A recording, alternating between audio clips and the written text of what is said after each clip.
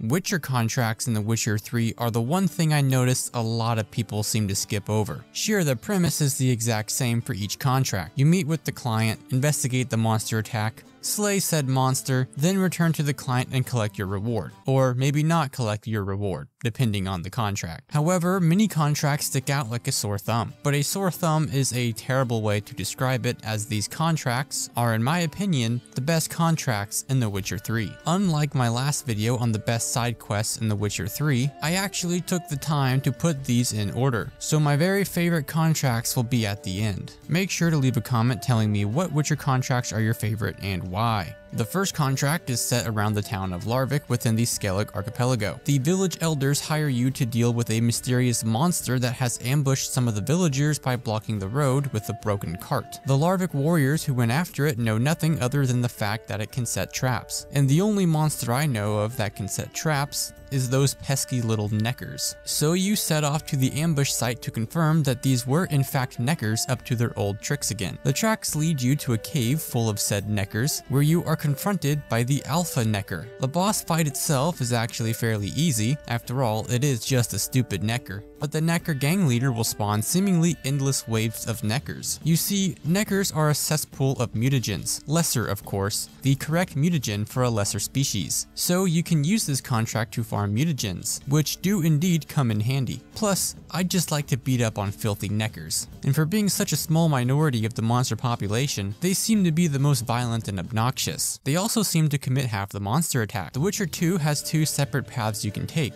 and depending on which path you choose, it's basically a completely different game. But what if there was a Witcher contract that had two different versions? This is the contract in the heart of the woods. This contract is brought to you by a man named Sven. The village is under attack by an ancient Leshen known as the Woodland Spirit. The village elders, however, worship the thing and don't want to anger it. So you have two options. You can either help the village elders continue worshipping something that wants them dead, or you can help Sven kill the Leshen once and for all. The only issue is that the Leshen will not actually die because it has marked one of the villagers. After searching the village, you find out that the Leshen has marked none other than Sven's lover, or maybe his sister, perhaps both. The game doesn't clarify. You can either banish her or straight up have her executed. Either way, you can now confront the woodland spirit and defeat it once and for all. Once you return to the village, you will see Sven has killed the village elders anyway, and the rest of the village will stand over the bodies and scream in distress in perpetuity. This Witcher contract has two separate paths you can take, and I only explained the correct correct one. I won't spoil the other one for you. The Beast of Honorton is a contract that takes you to the small town of Honorton, but once you arrive you see that the entire town has been slaughtered and is overrun with monsters. After you kill the monsters and investigate the town, you'll discover that a singular little girl has survived. Just don't tell Drake. She will tell you that it was another Witcher that slaughtered the town, and this is where the contract ends and the quest where the wolf and cat play begins. So for this quest you have to leave the little girl in the middle of the forest to confront this Witcher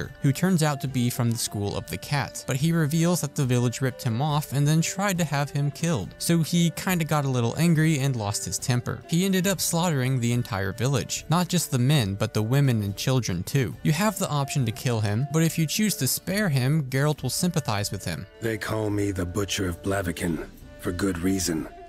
I know how it is. Sometimes, sometimes heads just roll. Afterwards, you can take the little girl back to her auntie in Oreton to finish the quest. But a few days later, if you decide to revisit Oreton, this little girl will call you out and give you a drawing that she made of you. This is the best quest reward in the entire game. But sometimes it's more about the journey, and this next contract is all about the journey. No, I mean literally. This contract is all about your journey from the start of the game all the way until this very moment. But what is the contract you ask? It's the contract Skellig's most wanted. You see, according to the contract giver, a bunch of dirty little degenerate Neckers are out attacking random people again. He says Neckers attacked his caravan and killed his traveling companion. So you have to investigate where these supposed Neckers have been setting up their trap, but upon doing so, you realize that neither the horse or traveling companion indicated being killed by Neckers, and a giant boulder will come tumbling down the mountain and almost kills you. So you head over to where the boulder came from, then follow the tracks back to a cave. Once you enter the cave, you will get trapped inside where you encounter yet another trap of Endregas. Once you defeat the insectoids, you'll find out that the Necker prints were merely Necker feet that have been turned into boots, along with the location of an ambush point. Once you arrive to the ambush point, you are confronted by a troll, a godling, a doppler, and a very angry werewolf. You see, this is kind of a conclave of monsters who have taken up arms against humans who set out to kill them, and you have to convince them that you are a friend of monsters. You do this by recollecting all of the sentient monsters you have saved or spared throughout the main story, side quests, and other Witcher contracts. You hate us! Hate us all! Humans hate you all, because they don't know you, don't know which of you are dangerous and which want to live in peace. Only Witchers stand between you and humans. We know both worlds, protect both. We kill dangerous monsters, so the thinking ones can live in peace. If you manage to convince them that you are a friend of monsters, you'll still have to fight the very angry werewolf, and if not, well, you'll have to fight all of them, minus the Godling. Let's leave the children out of it, Chris Tyson. I really like this contract. It just shows that not all monsters are actually monsters. Ideally, you'll want to do this contract last, otherwise you won't be able to convince them that you're not a bad guy, but you will also get these cute little Neckarhide boots as a reward. This next contract is another contract within the Skellig Isles called Missing Miners. You start this next contract by talking to the village elder. He will tell you that a group of miners have gone missing, so you need to make your way over to the miner's campsite and follow the trail all the way to the big cave. Inside this cave, while on the hunt for those missing miners, you will find Drake. I mean a troll named Wham-a-Wham, and I promise he is of legal age, because apparently some people think liking people in their 20s is the same as liking a 12 year old. I would absolutely demolish Millie. You see, some people from the village wanted to mine for riches, but in the process they disrupted Wham-a-Wham's home, so he decided to absolutely demolish the villagers. Now you don't have to kill the troll, in fact if you ever voluntarily choose to murder these beautiful and innocent creatures, you are subhuman trash. The only thing worse than killing a troll is killing Saskia. But if you tell Troll not to go wham on man, cave peace go sleep, man's no boom wham a wham home. I'll let it slide, this time. But kill any other humans, and I'll come back and cut off your head.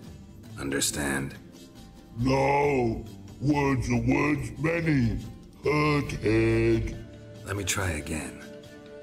Wham a wham mans again. Swish a swash a swunk you. Oh. No more troll wham. Any quest that involves these beautiful trolls is always just a hoot, but once you return to the village elder, you will kinda get a little angry that you didn't kill Wham-a-Wham. Alright, this last contract is by far my favorite contract, for no particular reason, and that would be the Oxenfurt Drunk. The only three things I care about are booze, boobs, and dragons, and this contract has a lot of booze. Oxenfurt has been plagued with a creature of the night. Men who go out at night are not coming home. Upon investigating the bodies, you'll learn that this creature is none other than a vampire, but this vampire only likes blood with high levels of alcohol content. So in order to lure out this vampire, you have to get absolutely wasted. Wanna get drunk off my ass, and it's gotta be on cheap wine. Trouble with the lass? Or did your enterprise go under? Neither, just part of the job. Once you get completely inebriated, you have to take a stroll around Oxenfurt while acting like a total buffoon. Eventually, this vampire will call out to you where Geralt decides to drop the hardest one-liner in gaming history. I sense your blood. Come out and fight, bitch. Once you fight him, the vampire will flee to a small house where you can trap him and defeat him for good.